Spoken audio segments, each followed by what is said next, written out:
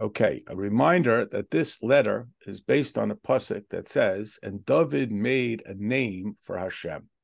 The simple interpretation in the context of the original pasuk means that David made what we would call basically a kiddush Hashem, sanctified God's name. After a certain battle, he allowed the enemy to bury their dead. That's what it's talking about in context. In in the way the Alter Rebbe uses it uh, as a mechanism for insight, he talks about the name of Hashem, that David, and by extension, each of us, are able to make Hashem's name. Now, we're familiar with these phrases, these terms, Kiddush Hashem, uh, the name of Hashem, and so on. In fact, it's this week's parsha where it speaks about the prohibition of throwing out or, or destroying anything that has Hashem's name on it, Shemos, and so on. So I'm going to scroll down here. You remember this visual, which we've shown you many times. Now, when we take Hashem's name, you see how I made it move like that? The Yud, the Hey, the Vav, and the Hey, and the shapes of the letters, the Yud being the smallest letter, the Hey having already expanse and and um, and breadth and depth. Now, for our letter, we're going to be focusing really on these two letters, the Yud and the Hey, not so much the Vav and the Hey. Um, we're going to talk about it. I just want you to get the visual because I think if you have it in your mind's eye in front of you, it'll be a lot easier than having to refer back to it each time. Now, as we are familiar, the Yud and Hey themselves are also Hashem's name. Hallelujah, which I'm deliberately now mispronouncing. The Yud and Hey are already Hashem's name. Now, the difference in this process of Yud and Hey is best understood when see I made it move like that, and that cool? When it's in this um, vertical shape, the yud being the the origin and the smallness of it, suggesting that it contains the infinity of Hashem, starts to make its way all the way down to us. The hay down here, where it's called the final or second hay, is the part of Hashem which is entrusted to us. The yud and hay prior to the vav represent a level of godliness that is ordinarily outside or detached from our relation the relationship of this world. And when we are able to tap into that level that is literally taking us you know pardon the sort of pun uh, of out of this world. We're getting outside of the standard human interaction and behavior by reaching all the way up to the yud and the hay okay so you follow this visual now, based on this, we're going to talk, we're going to plug it in to a pasuk uh, and a, and a statement here. Uh, Rabbi Yehuda Nasiya said to Rabbi Amir, meaning this is what what is the difference about that which is written? For in the Lord be Yud Hey, and again remember the Yud Hey, and not for the Lord or just Yud Hey. And here is the uh, this is the Gemara, by the way, Menachos that we talked about th- this is the, the, the discussion that we're going to be focusing on here from here down. Okay. So Ravashi responded, It is as Rabbi Yehuda bar Rabbi taught the verse for in the Lord be Yud Hey, and the Yud Hey being the crucial here, okay? The Yud Hey is Hashem, an everlasting rock, Lamim. The term Lamim can also mean creator of the worlds. The letters Yud and Hey, the, the concept of Yud Hey, are referring to the two worlds that Hashem, blessed be He, created one with the bays, the letter Hey, and one with the letter Yud. So there's two worlds that are created with this Yud and this Hey. This will be expanded upon in the letter, but I want to have it as an introduction so I don't have to refer back to it every time. So if you can keep this sort of in your mind's eye, it I think will be helpful as we study the letter. Okay, so back here. Uh, whether this world was created with the letter Yud and the world to come was created with the letter Hey since it says El Tashmaim Bihi Baram, Matigri Baram Ela Behe Baram, Heavy Oimer Olam Hazeh Behe. This world is created with the hay, because in this world it's more, it's bigger. And again, in our context, bigger is not better, because bigger is defined, and smaller the letter Yud. And remember, as we pointed out, that every letter shape in Aleph Bays begins with the letter Yud. So the letter Yud represents an infinity because when you see the scribe mark down the letter Yud, it could go anywhere. In contrast with the letter Hey, it's like the idea of infinite potential. a small child that we don't cut his hair until he's three, because when he's small, he could be anything. When it gets to be three, we start to give him direction. But direction means we start eliminating certain options. If he's going to be one, he's not probably going to be the other. You know, we we have to start winnowing out. So this world is created with the hay and Olam Haba with the Yud.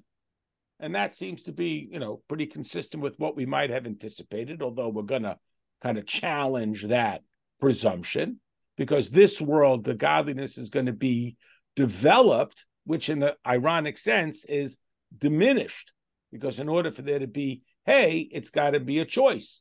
When it's the letter yud, it could be anything. Once it's the letter hey, it's not going to be an aleph or a base, meaning here there's infinite potential. Here, there's decisions that have been made. So there's access, but there's not um, uh, uh, unlimited potential. Those choices that have eliminated other choices. So then we go on, we say again, this world here were created with the letter Hey, and the world to come must be created with the letter Yud. And for what reason was this world created with the letter Hey? Because the letter Hey, which is open on its bottom, and again, it gives an analogy here, which you can read for yourself on the on the board. I don't have to read it out loud. So we're going with the premise that this world is created with the letter Hey, and the world to come. And again, the world to come means where godliness is evident and clear and laid out before us. Like we talk about heaven, it's not where you get to eat all the cookies you ever wanted, but it's about where godliness is clear, where we have a clear, evident visual of godliness. Okay, so hopefully everyone's got this. I, I email it to everybody and we'll take it off the share and we'll go forward in the letter where the author will develop this point. Now, uh, the, we've already mentioned about how the letter sounds are created by forcing the, the undefined breath through the teeth or the tongue. And again, things which hopefully we all do without having to think about it. Chas v'shalom, if a person is challenged with their speech, they need to be more conscientious of how they formulate words and sounds we hopefully all tend to do it a little uh, uh, naturally or unconsciously without thought. But when we want to really pronounce the words properly, or if you're reading a foreign language and you really need to be attentive to sounds that may not be common and uh, letter combinations and how they change the sounds. You know, the G has a sound, the H has a sound, GH have a whole different sound. So then we become a little bit more conscious of our uh, formulation of the letters and the words. Well, using that as a springboard to help us understand our relationship with Hashem, we have a very similar phenomenon that the infinity of Hashem squeezes through the finite uh, parameters of this world or, or let me rephrase that. Hashem squeezes through these finite parameters in order to create this world. So we, on the receiving end, are getting the particular letters, and they become an opportunity for us to work backwards to discover that I'll just use this word essential uh, letter breath sound that has then been um, uh, uh, uh where where the particular creation originates. So in this world, we're starting with the letter Hey, a lot more structure, which again gives us uh, an entry point, but it also can become a distraction. So, uh, again, a classic illustration that we're familiar with when we have a mitzvah action like shofar blowing and lulav and esrog, this becomes an opportunity for us to become aligned with the infinity of Hashem. Concurrently, it can become a little bit of a distraction. That is, we're so fixated on making the proper sounds with the shofar and, and shaking the lulav and esrog that it's possible that we could forget all about the infinity of Hashem. In contrast, the most stark example that I can think of is Yom Kippur, where there is no action item, there's no thing to do. It's just to be in that moment, which can be challenging. It's one of the reasons why we divest ourselves of our humanity on Yom Kippur, so we don't eat and we don't drink and we don't shower and so on, because we want to be completely in the raw moment of godliness. And sometimes, like that's hard. That's why we say, okay, here's a book. Read this book all day because it'll give you something to concentrate on. Whereas, in essence, we might say that the Yom Kippur we shouldn't even have davening. We should just sit the whole day and be in our relationship with Hashem. But we're way too fidgety for that.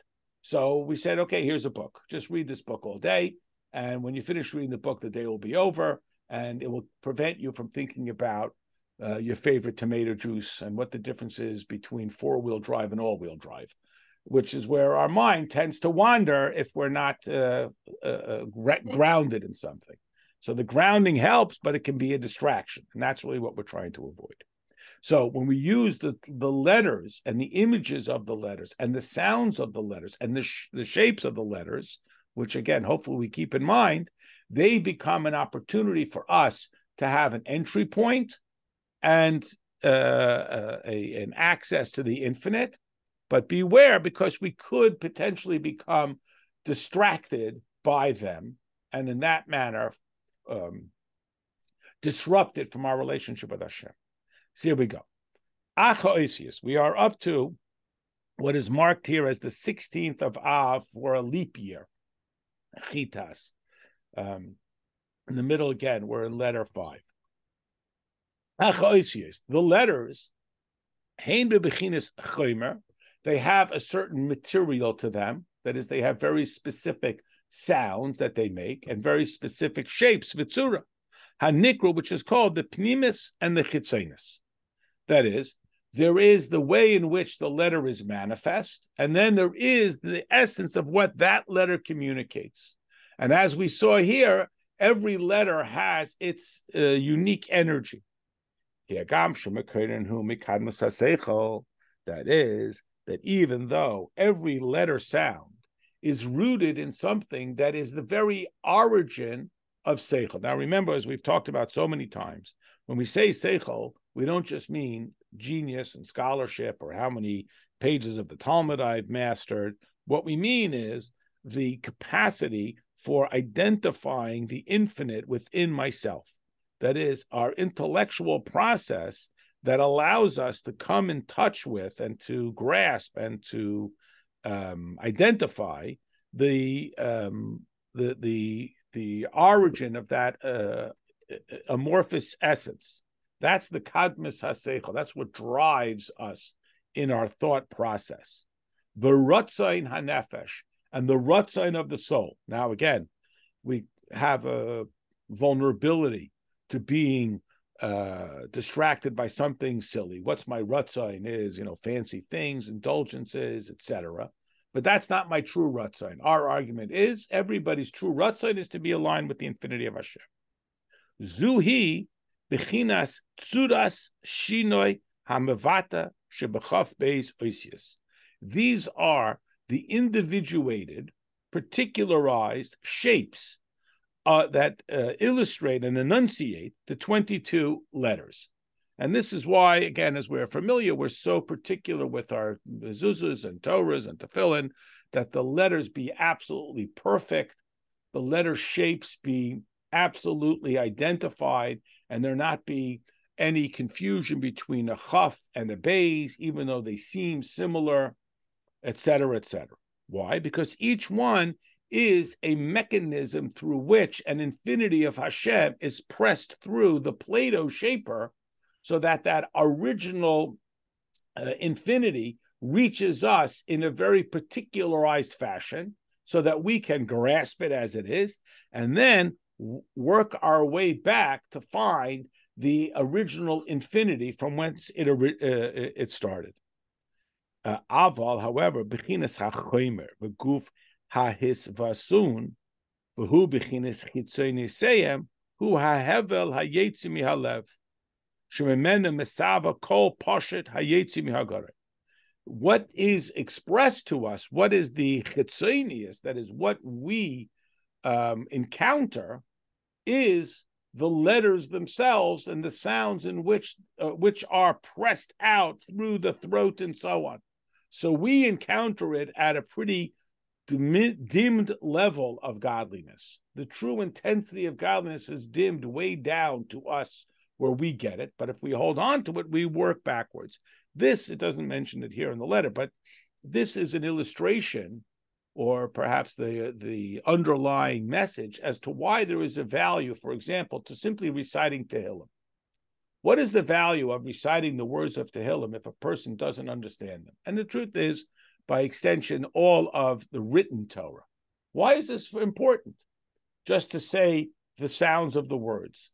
And our explanation is yes, while there is a great value, of course, in understanding them, but there's also a value here because we are thus aligning ourselves with the infinite Hashem that is expressed through these letter combinations and words and sentences and so forth. So, what happens? We start off just like we experience it ourselves. And again, we hopefully never have to think about it. We have this essential breath that comes through. And based on the way, and again, if you think about like a flute or some other wind instrument, I mean, I don't play music, but there's the same idea. The breath is the same breath. And then by manipulating the holes, it changes the sound. But the breath is essentially indistinguishable because if you took away the trumpet, there would just be the swoosh of the breath. The swoosh of the breath through the ch- trumpet changes the notes, not so much based on the breath. And again, I don't know if this is 100% accurate because I don't play uh, the trumpet, but you get the idea. But by manipulating the holes, that's what changes the sound. The breath is the same infinite breath. Well, on this side of the equation, and again, this is what we always talk about. We just had it in the parsha where we shouldn't distinguish between mitzvahs because, from my perspective, this is a big mitzvah, and from my perspective, this is not such a big mitzvah. But that's because I'm only seeing it on this side of the screen. If I would see the origin, it's all the same origin. It's the same infinite. And then what happens once this indistinguishable breath is forced out? It divides up into 22 shapes and sounds with and it illustrates in 22 letters Behei Moitzos Hayiduas in the five different groups of letters.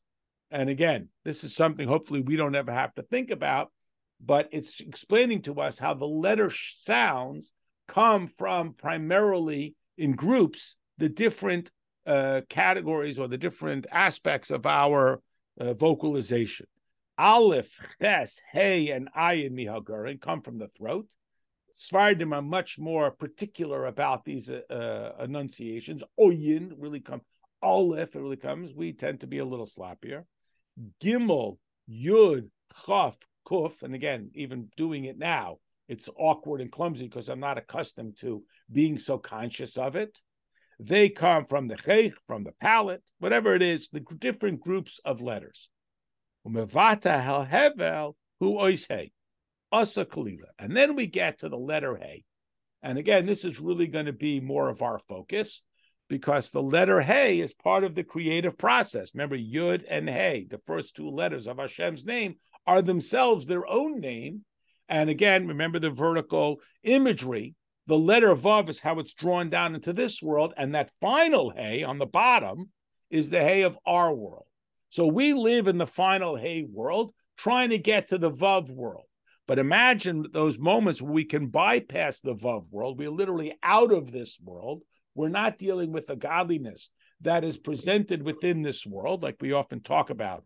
When we define Hashem by what he does in this world, we're actually defining defining Hashem through our lens. It's like saying my mother makes peanut butter and jelly, which is not untrue and not unimportant, but it's not the entirety. That's the child's view of the mother, like our childish view to say, well, Hashem created the world and he orchestrates the whole world. Of course, that's factual and it's important and it's important to Hashem. But it, that's always defining Hashem only on our side, like thinking that the world began when I was born.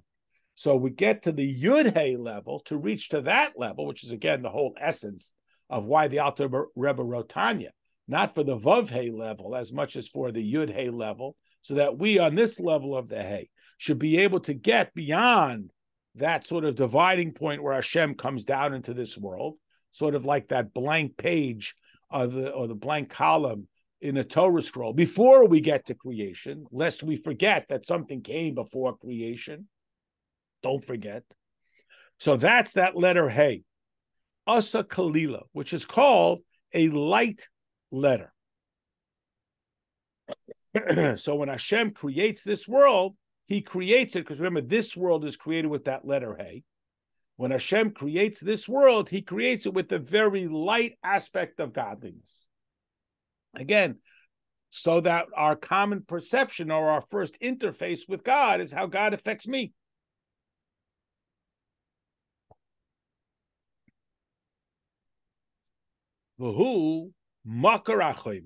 This is what gives the source for there to be the tangible physical. Because remember, the letter Yud, which precedes the letter A, doesn't yet have any identity. It's the smallest of letters. It has yet to been shaped and teased and pulled out to create the other letters. Um,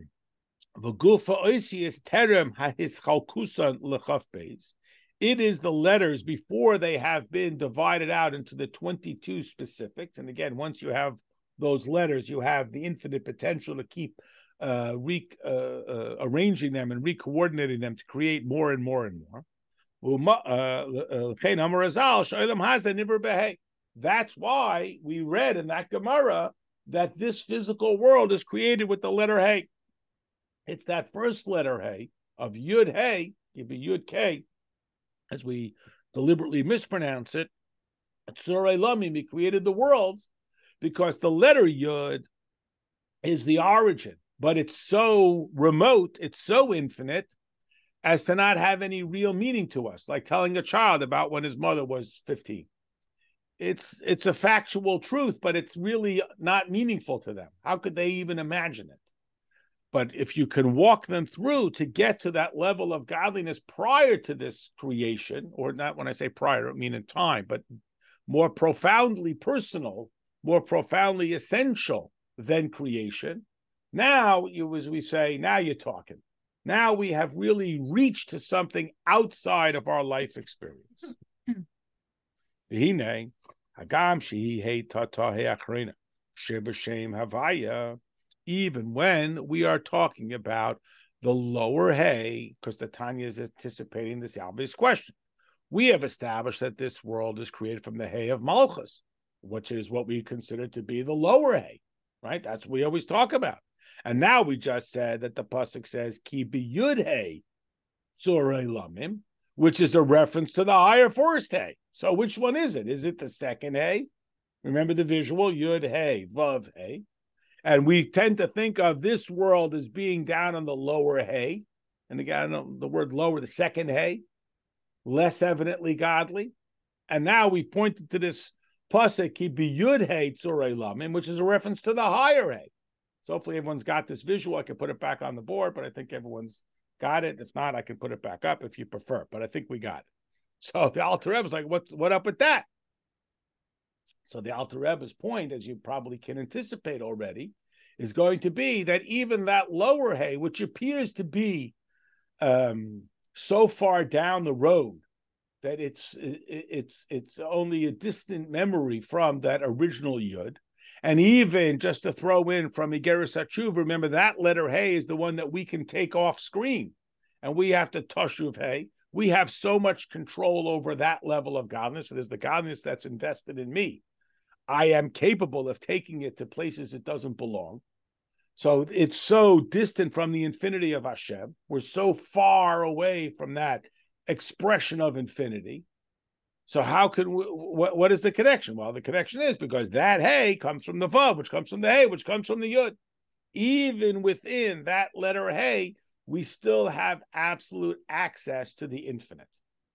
And this is the constant message of Tanya that within the crass, remote, tangible, physical, limited, we have access to the origin, the infinite, and so forth um Verzal Darshu Zal Pasuk.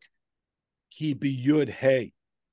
And again, that's the pasuk we saw before, which is a reference to the first one. I know Lefi. Why is this? How could it be that we seem to have this contradiction? Remember, thesis, antithesis, synthesis. we have this message that the world is created from the least evidently godly.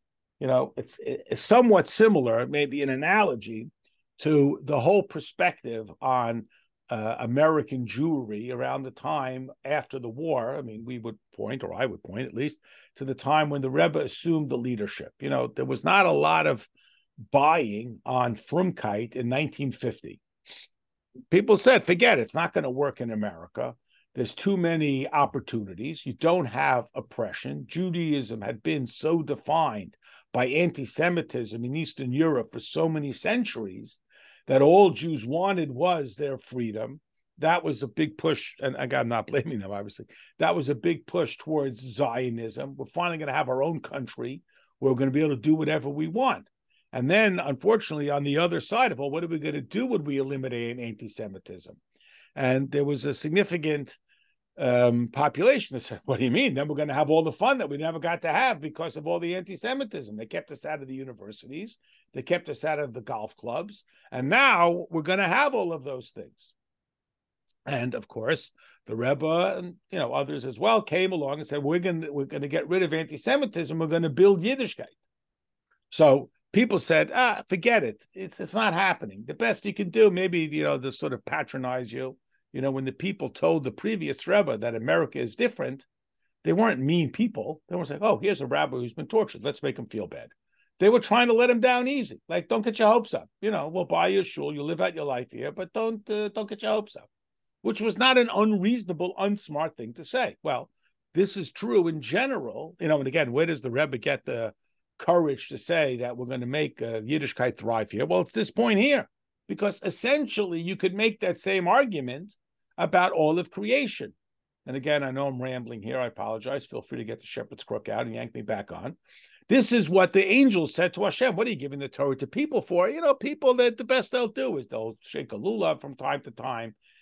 You know, they're just people. And Hashem is like, no, you don't understand. The it's the opposite this is the the the goal the objective is here and, and we know this again i call it culturally because in Chabad we're not big into Olam Haba. And we're not into well, when we get to Olam Haba, then we'll finally be able. Meanwhile, we're just sort of treading water here because you know we got to sort of keep ourselves occupied. And if we wouldn't have kept on messing up, we would have already had to the opportunity to get out of this world and just but you know we keep on screwing up so, okay so while we're here ready you know we'll do some good things but it's not really here it's really somewhere else whether it's really in Yerushalayim or it's really in Olam Haba it's really somewhere else it's not really here this isn't really the real thing and the Alter Rebbe's pushback and then again the America is no different pushback is no no no this isn't also this isn't well while we're here this is where the goal is. This is the essence.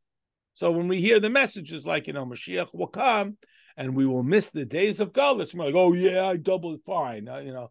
But there is that that that level, the idea that this is where the infinity of Hashem is to be found, specifically because it's not overwhelmingly obvious. And that and to find the godliness, dear in the least naturally aligned spot is to work backwards from the bottom hay to the vav to the higher hay to the yud. Even here, yeah, even here. Okay. Um Hainu lefi shemekoyder v'shisasa love lebechinas giloy mihalim hayud who mushba v'nimshach v'bechinas hey ilah sheish lehispashas oich v'reichev it's just a bunch of words here. I mean, it's a lot of words I, I just want to cover, and then we'll come back. is bina. She is pashtis haseichel hanelam bebechinas giloy vasaga barchavas hadas vashpasa mistayemis belev. So what happens again? The visual. We start off with the yud, the least uh, tangible, which suggests the most intensely godly, and then it comes down to the letter hey. Hey, remember, is Bina. Next time you go to a bris, you hear the father say to Mimer, Yud Chachma Hey Bina Vav Hamshacha Chulu, right? It's in that Mimer. So again, you imagine this process. Yud, which is the small, any idea, all ideas are welcome, including some goofy ideas and really good ideas. It's infinite. And then it's given some depth and breadth in the level of Bina. So Bina is where it really starts to play out that level of godliness that starts to become developed. And then the Vav brings it down to us, and then it's entrusted to us down here, this letter Hey, where we go when we do the mitzvahs, which is like the letter Hey sound, is a very soft sound, right? The idea of the soft sound of the letter Hey is that we do a mitzvah. We don't see the intense godliness.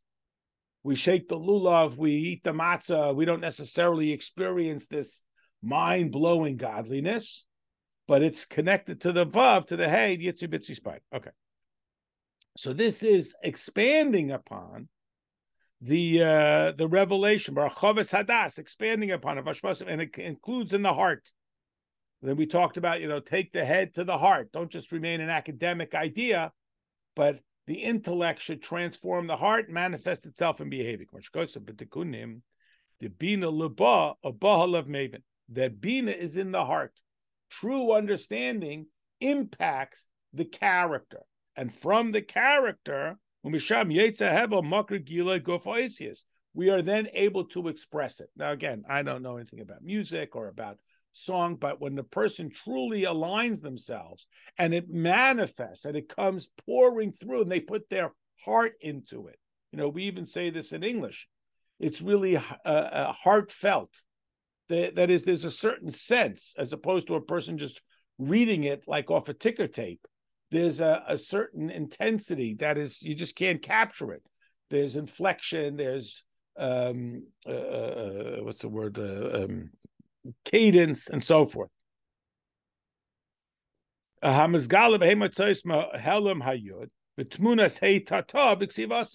That it comes from the intensity that is contained, hidden within the yud, all the way down to the um, to the uh, uh, uh, character, the the the tangibility of that final letter Hey, to be able to take the most intense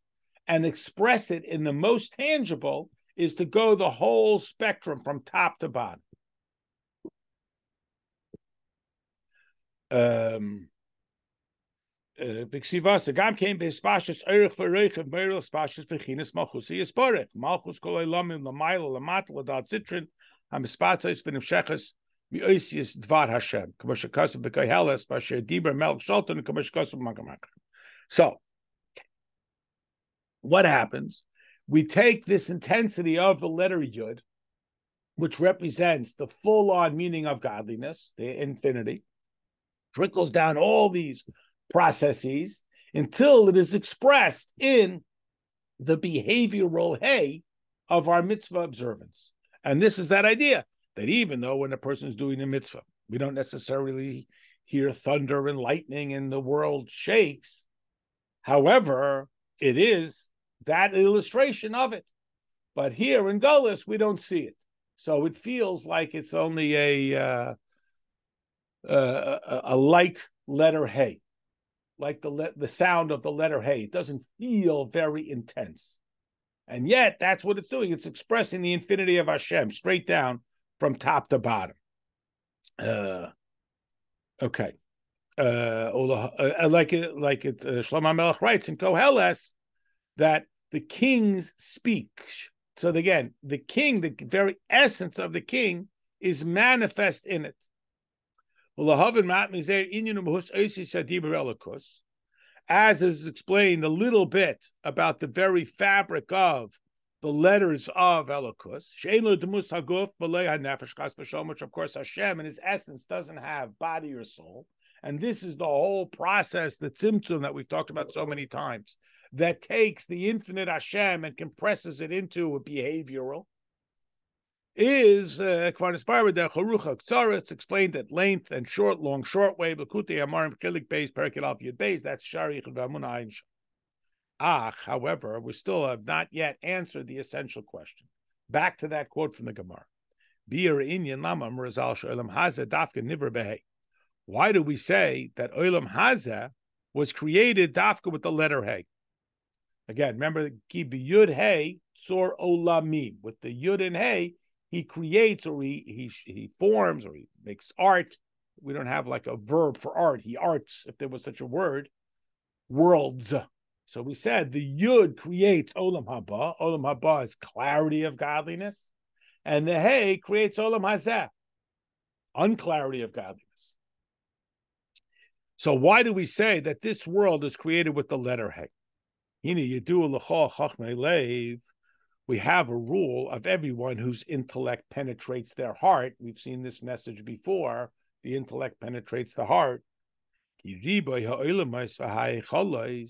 the abundance of worlds and stages and all of these different processes by which we try to map out creation from the four worlds and the sefiros, all of these terms that Hasidus, well, they originate in Kabbalah, and Hasidus helps make tangible for, to us so that we can grasp what we're talking about here. Asher ein lehem mispar, which ultimately can't be counted. So they're kind of useful, but they're kind of not.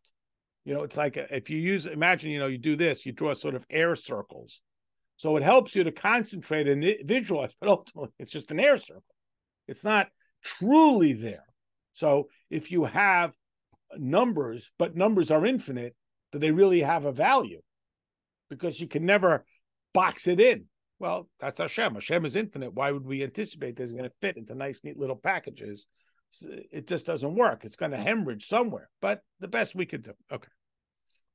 Uh, like we say, Hayesh Mishpal Gludov, is there a count to his troops? I mean, there is such a thing. I mean, there is a limited number of blades of grass in the world, but we could never count it. So it is limited, but it's not uh, knowable. Okay. And within each uh, troop, you have thousands of thousands, innumerable. Point is, you can't count. That that's the main point.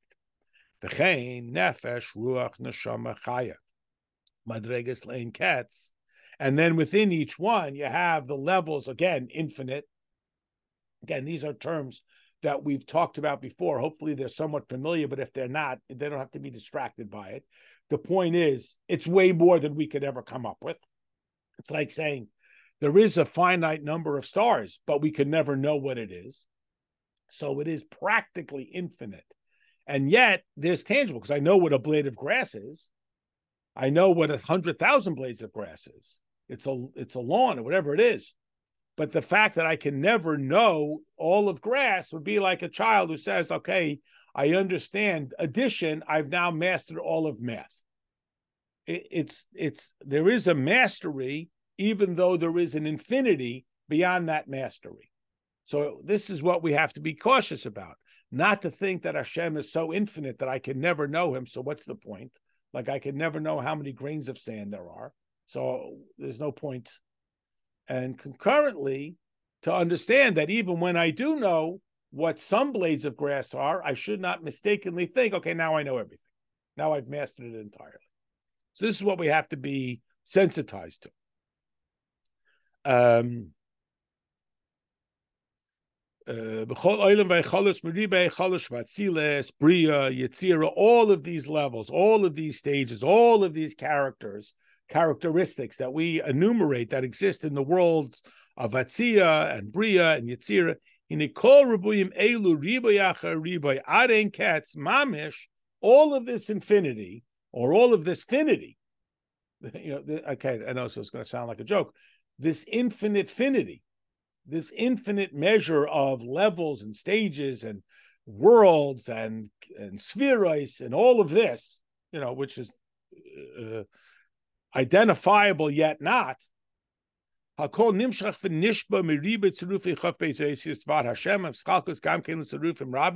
adin mamish. They all are drawn from those original 22 letters that are in turn drawn from the infinite. So the point being that I cannot know how all the grass, but every blade of grass is an opportunity for the infinity of Hashem. So there's the endless pursuit of the unattainable, which our Nefesh Abahamis does not like, because we like to know there's a beginning and an end. I want to know when I'm done. And what do I got to do? And then I know that it's set which you know people can live their lives again anything out of proportion in endless pursuit of i just want to be set i just want to know that there's not going to be any disruption which is impossible because the weather changes look you know one of the things that we're sensitized to with time and the calendars we don't even know when the calendar is going to be. You know, remember uh, originally we didn't have a calendar. You don't even know in a month from now is it going to be a month from now. So that's very disturbing for our nefesh Bahamis, but it's very encouraging for our nefesh Elokis. Again, the Yom Kippur mushal. It's a whole day where we don't even think about day. There's no time. There's no conscious awareness. That it, that whole level is just completely obliterated, which is you know, again, Nadav and Avihu, you think about Aaron's two sons. That's essentially what they said. Who wants to deal with time and get up and go to sleep and three follows two follows one? I don't want to deal with all that. On the other hand, we can become so locked down in all of that that we forget about the infinite. I mean, it, again, every parent runs into this issue. You know, we're so intent on making sure our child goes to school, we forgot that we're getting all impatient with our child we're so insistent that our child uh, love their Yiddishkeit that they're going to love it no matter what, you know, and we get insane. So it's that combo deal between the, the infinite and the finite, finding the infinite within the finite and remembering that the finite is not finite. Once you master that, it's easy. If you would email me how to do that, I'd appreciate it. Okay, here we go. Um, like it says in the Sefer Yetzirah, which we attribute some to Adam HaRishon, whatever it is. Uh, Shivas avonim boinis chameshes alofim barboim batim. So you can do the math, but seven stones can be re- rearranged to build 5,040 different types of shapes. So again, it's not about the math so much as the idea is once you have a critical mass of letters, you can build on forever. You can keep going and going. I mean, look how, you know, the old joke about they were going to shut down the patent office 100 years ago, whatever it is this idea that we can be infinitely inve- inventive. Uh, Take it from there. You can't even enunciate it. So it's an infinite number of finite objects, which again, meaning that every finite object is our access point to the infinite. Don't get caught up in the affinity of it, but don't get don't overlook the affinity of it in pursuit of the infinity and uh, recognize that the finite is your access point to the infinite. Here we go. Um, Kamav Kami meaning Madras Umadregas Chalukas Lane Katzkavaya Gavaya. they call called Nimshach Lefi Chalufi Yatzirufim Vatmura. It's Bat Bashkula. Even though there seems to be, there is, pardon me, all of these gradations of Malachim and so on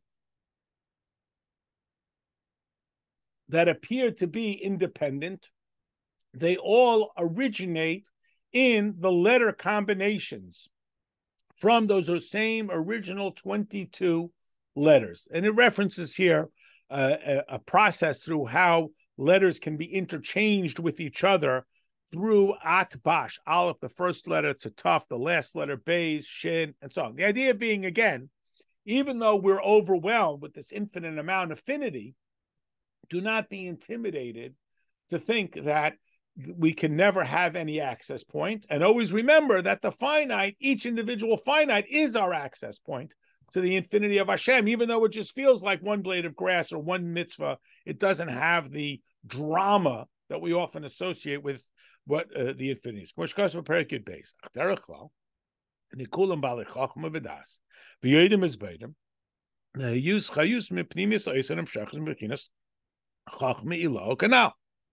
What then is the distinctive characteristic of the angels? Is that,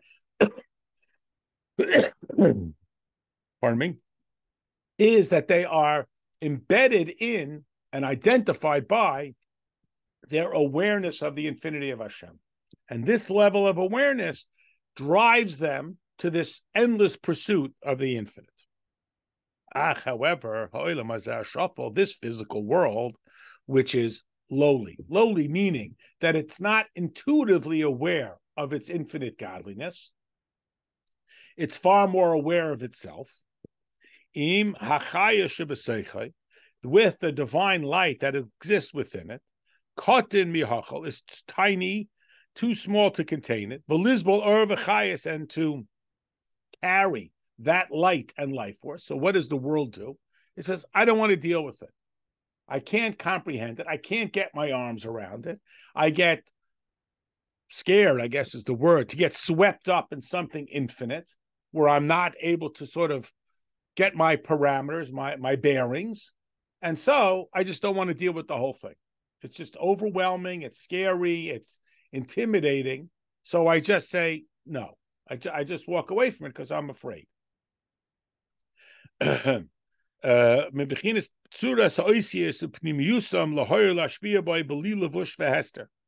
from this let the shapes of the letters and the essence that drive them and influence them without there being this mechanism of interface, the garments that we can touch and hold and feel. We can't deal with that.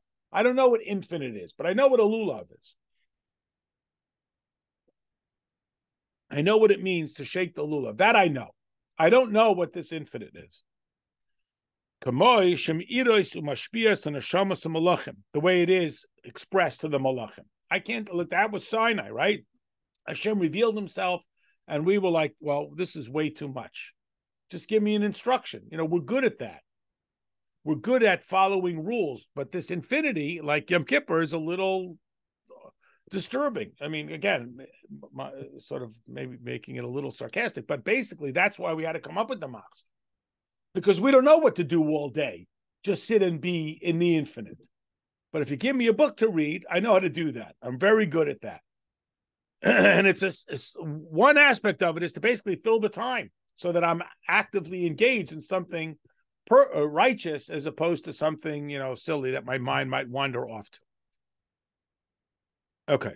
Um, how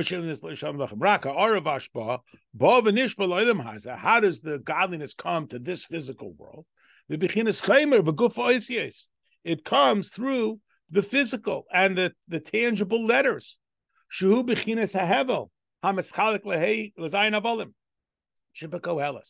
This is the hot air, the breath that is manifest to us through the seven references of Koheles. That is, in Koheles, Shlomo HaMelech writes, Hevel Havolim, Hevel Havolim Hakol Hevel. The word Hevel is in that context is translated often as vanities. But the word Hevel literally means breath. Breath of breaths. So that's three breath of breaths is two. To uh, Havolim, uh, again, Hevel Havolim, again, breath of breaths is five. You know, breath, breaths is two. Hakol Hevel, you get seven. So what is Shlomo Melech saying? What's the difference between five breaths and six breaths and seven breaths? So seven represents the creative process. And what we get is the Hevel. So on the one hand, again, we say, oh, well, that's lousy. Who wants that? But on the other hand, that's the point. When you get a thing, you're locked down to the thing. So we like things because we can get our arms around them, but we also know that's it. It's limited to whatever the thing is. So the hevel is the opportunity. And we're like, don't give me no hevel, just give me a toaster. We don't want this, you know, hevel. We don't want this uh, abstract. We want the physical and the tangible. So, yes, it's true that this world is predicated on uh, a non physically tangible or visually experiential godliness, unlike the angels. And then we hear people they're constantly in endless pursuit of this uh, uh, uh, uh, of some tangible expression of godliness. And yet, what we are we are arguing is right. What we have in this world is the is the entryway to it if we'll access it. Okay. Uh, that's what the world stands on. What does that mean? Meaning, Shlomo Melech is saying it, it appears to be a negative. You know, it's just Hevel, you know, I chased everything. I chased wealth. I chased wine. I chased indulgences. It's all waste, waste, waste, you know, and the only thing is Hashem. You know, Sof Davara Kol Nishma, after everything, just it's all about Hashem. So it's a little bit like Shlomo HaMelech passing on the message to the people. Look, I was I'm the king. I have every material indulgence, and that's all nothing. The only thing that's really important is Hashem. But here, what we're what we're understanding from Shlomo Melech is something more profound. You may see the world as only predicated on hevel, non-substantive godliness, but this is your opportunity because it's non-substantive to touch the infinite. That's the, that that becomes the virtue, not the degradation. It's not the it's not the um the, the flaw of this world, it's the virtue of this world that you can uh, touch the infinity of Hashem because you're not bogged down by the materialism of creation. Um, this is the that which comes from God. That is invested in this world, in all of the things in this world, to give them their life existence. And contained within them is the shapes of the spoken letters. And the thoughts that come from the infinite Hashem. So this is the opportunity to be connected with the infinite. You know, it's sort of the uh, the pushback against that sort of corporate mentality where you're on hold with customer service, and there's they're just reading to you from the manual. There's no inf- infinite. There's nothing beyond just the rigid uh, procedure which we create because we just want the toaster to work. So we we we can't uh, get um, creative beyond that, which is what's it's the destruction of the art of this world. Like I know anything about art, but the idea that there's something more than just the functional. Um, that is absolutely unified with the infinite of Hashem. So when Shlomo HaMelech says the world is built on Hevel, and again, in context, that seems like, oh, that's disappointing. The actual understanding here, the way the Alter Rebbe turns it upside down, is right. You can still reach the Hevel, the non-substantive, the no thing, all of that that we've talked about under so many ways. And I understand why people say you guys are nuts. You know, this is a completely different way of seeing the world than we've always been intro- uh, uh, uh, indoctrinated to. We're constantly in pursuit of things. We're never in pursuit of no thing. Nobody wants to be nothing. Nobody wants nothing for their birthday. And essentially, this is what we want. We want no thing. We want to be able to reach that infinite. Um, this is what the Arizal writes. So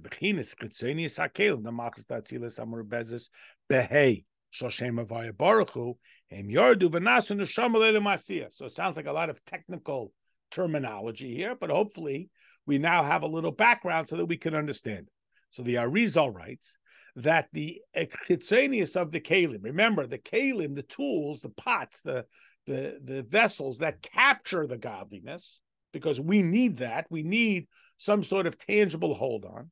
So the expression of them, which appears to be rather shallow, so imagine if you're, you know, just the simplest analogy, you're making food, you have the pot. Nobody wants the pot. You want what's in the pot. But you can't cook the food if you don't have a pot. And it sounds overly simplistic, but it's essentially this point. So the pot becomes our access point. It's like the words that express our feeling.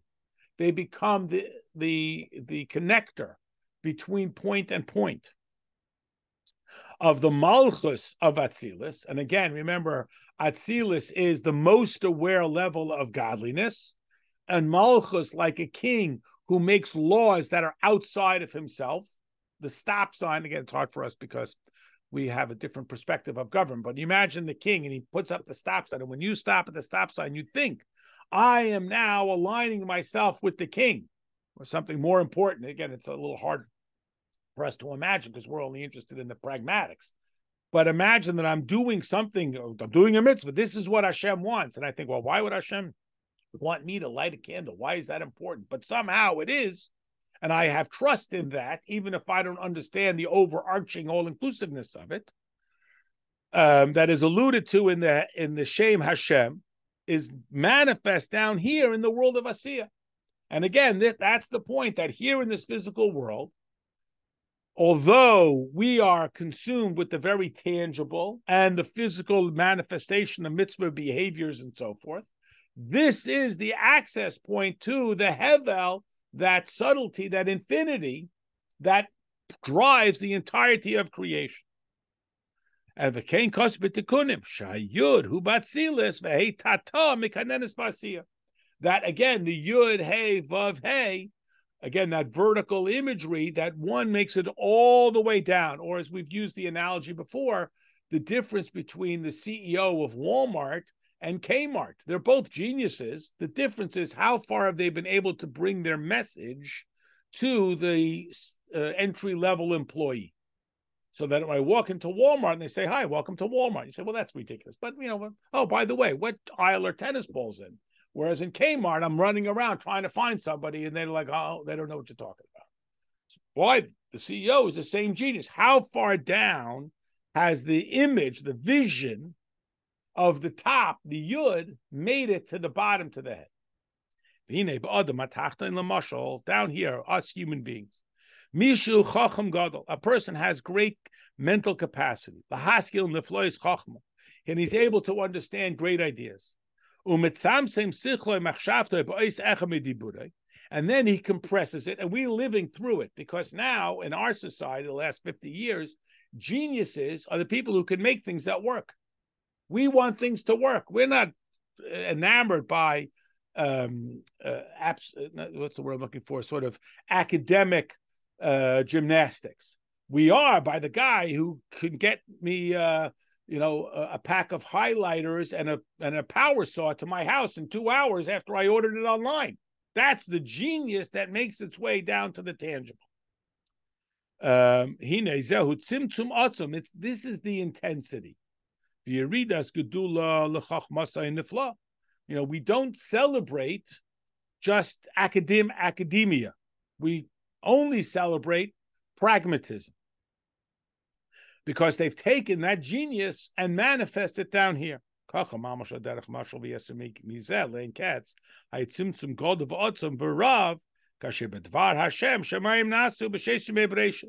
This is the greatest form of tzimtzum, is that Hashem creates this world in six days. The infinity of Hashem squeezed into six days. And we're all familiar. Do you really expect me to believe that God created the world in six days? Yeah, it is kind of unbelievable. Why not create the whole world in one moment? I mean, he's God. It's like he has to rest. But this is the point that Hashem is squeezing infinity into six days. Of course, he could have squeezed it into one moment, but then we'd have no access point. Um, and with the breath of his mouth, all of these hosts he ois hey shal shem avaya baruchu asaklila. And again, what we get appears to be this very soft letter. That's it. That's all I got. You know, my parents went to Rome and all I got was this lousy t-shirt. Meaning I just get something that appears or feels or senses to be very non-intensely godly. Commercial custom, he barum, like it says, behay barum. You remember from the Gemara that we saw earlier. He created them with the hay, the soft letter because too much godliness, too overwhelming. He mucker hates my mothers. This is the source of the nine creative statements. We always think about 10, the first one being Bereshis.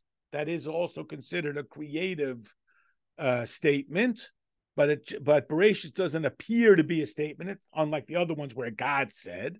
It is the basis of all the statements. So it's the same idea the hay in the behi barum with the hay he created them is rooted in the yud, which is beyond expression.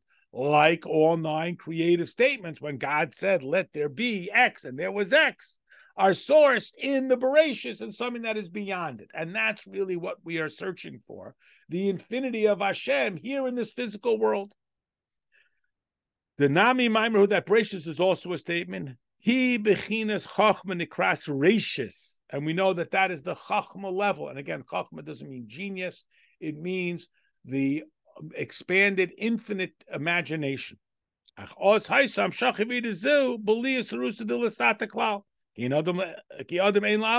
Hashem creates the world purely spontaneously, not in response to anything. Like the kid who goes over to the new kid and offers friendship, gives him his first opportunity. Hashem creates the world purely of his own volition, not in response to any petition. And therefore, it's in Hashem's capacity, Hashem's imagination. That's that infinity. Ra, chesedu, simply because God is passionate for doing kindness. V'olam chesed yabana. And the world is built on chesed. Zeu bihi baram, ba'avraham ki chesed lavram chulu. And this is what we find with Avraham and Hebara being the same letters. Remember, Avram's name is initially Avram, father, leader, but he's rum. He's exalted. He's separated. He's looked up to. Oh, there's that great man, but he's a great man. He's over there. He becomes Avraham with the hay, the father of many nations. He brings it down to us. I mean, the distinctive characteristic is not that Avram knew there was one God, it's that he brought this message to the whole world. Behibaram Avraham, the hey means that Avram, who's out there, becomes down here. It becomes invested in this physical world. It takes it from the loftiest down to the lowliest. So now Hashem created the world. He gets the ball rolling.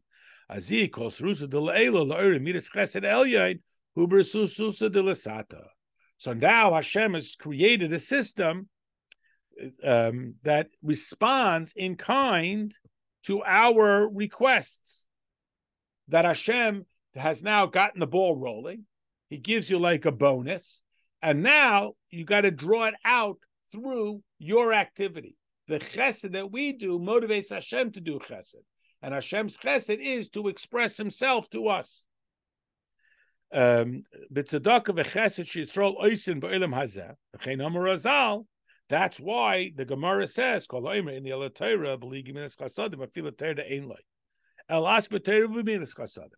that if a person says, All I have is Torah, which in this essence means that all I have is the academia, which is my pursuit of going outside of this world to be connected with the infinity of Hashem but he's missing the point of bringing the infinity of Hashem into this world.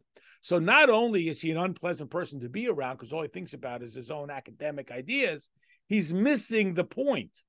The point is to bring the godliness down here. To bring the intellect to the heart, to the behavior, to bring the godliness out from within this world. So that's the purpose for which Hashem created the world. Alma, that even though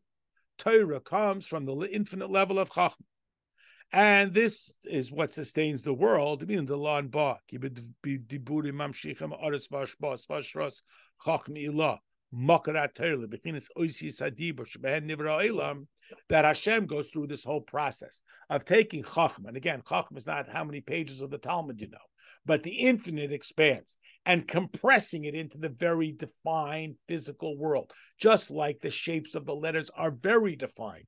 And we're super careful that a chaf and a beis should not be mistaken. And every letter in a Torah should be absolutely individualized and not touching and not bl- blended. That is to turn the infinite into the finite so that we access the infinite through the finite. Because I know what a chaf is and I know what a beis is but infinite I don't know. So what's my access point is the tangible mitzvah expression. Um,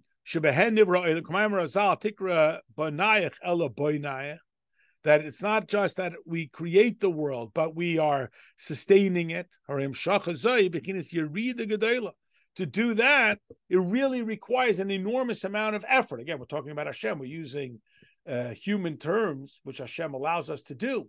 Just like to take a very abstract idea and explain it to somebody who doesn't know what you're talking about requires true genius versus geniuses talking to geniuses.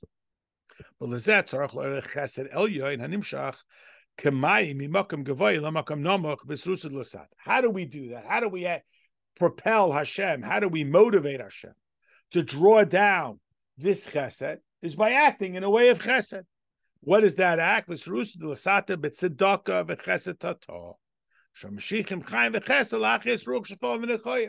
When we do the same thing, what happens? A person asks me for a tzedakah. So why should I give what's mine to him?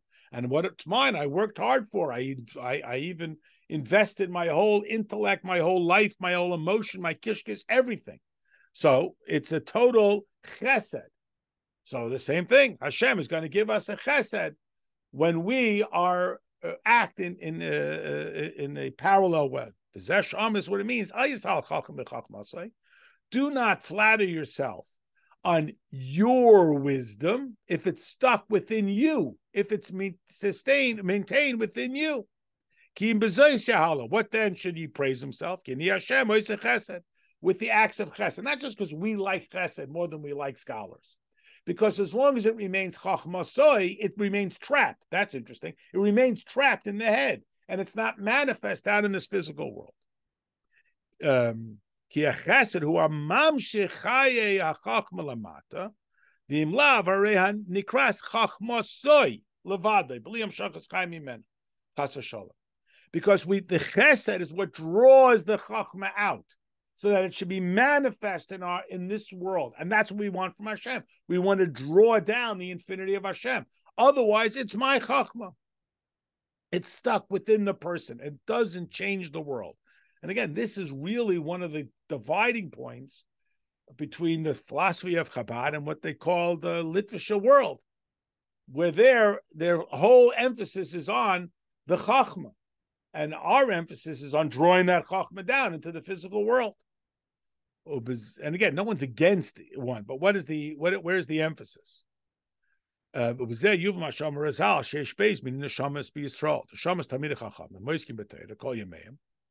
this is what we mean when we say there are two types of neshamas: those which are engaged in scholarship, the neshamas bali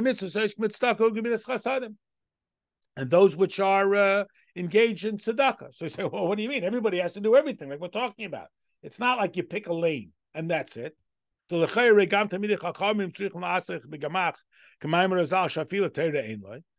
Everybody has to be engaged in acts of kindness. Everybody has to study Torah. It's not an either or. Ella shatamid chachamim shaytaydasan ikar.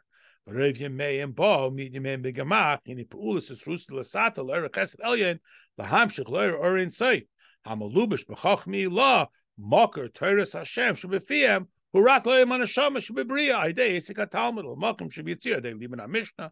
So those people who are engaged in Torah study, and again, we're not in any way minimizing the significance of it. They retain their level of godliness is up there. How far down do they draw do they draw it down? So they draw it down to these different levels of the neshama. The level of bria, which is where there's Talmud, there's more explanation. The level of Yitzira, which is the level of Mishnah, where there's more uh, distinction, there's more nuance. But down here, till it's going to hit this physical world, which again is the emphasis of Chassidus of Dir B'Tachtainim, and again, this is really one of those basic dividing points um, in philosophy. Again, no one's saying one and not the other, but the where is the emphasis? Is the emphasis on scholarship or is the emphasis on bringing the infinity of Hashem into this physical world? Again, you know, if we win the lottery, a million, billion, zillion dollars, what do we do? Do we all move to Mars and build one big giant study hall? Or do we start making Chabad houses in Saudi Arabia? Meaning, what is the objective? Is it to be in the level of scholarship, or is it to be in the level of uh, of transforming this physical world? You know where Chassidus is going to come down. Yan hayes chayes hanasham samalach nishvas mitzrufi oisis hadibor he teresh balpeh omakres hu michachma canal. And again, how far down does that godliness get brought? And they're both necessary. Again, it's not one to the exclusion of the other. Don't misunderstand.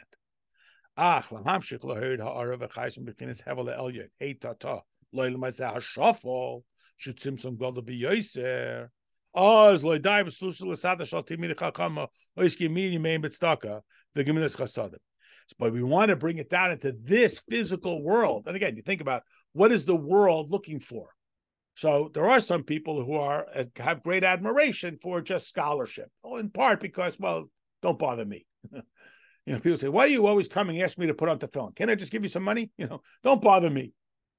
So that that will bring it to a certain level, but tzedakah is going to change the physical world. And again, I'm, I don't know anything about the ballet. I'm not mocking it. There's a certain attraction to it, but it's always going to remain to an exclusive group, separated out in the theater. It doesn't change the physical world until you change the physical world. And that's the difference between the uh, Bria Yetzira level of Torah study, which is crucial and necessary and absolutely important, and the physical transformation of this world through mitzvah activity. The Bali mitzvah is oiskim rev yemei mitztaku gemach like aleph parak like it says in Tanya about how we change the world through the mitzvah actions. They're called supporters of Torah. V'hein uh.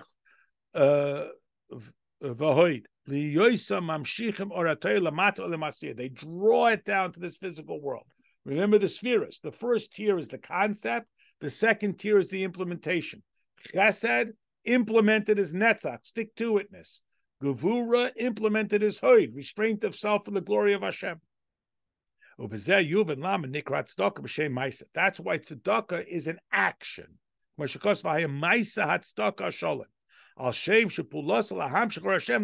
Because it brings godliness into this world that we can appreciate in this physical world. Now we understand back to our origin. He made a name for Hashem. Remember, David HaMelech made a name for Hashem. The Zohar says, "What makes a name for Hashem? The of that you make it.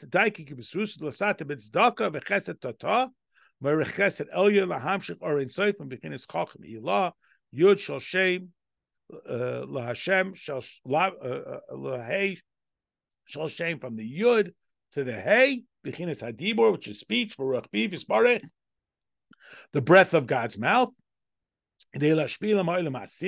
down to this physical world.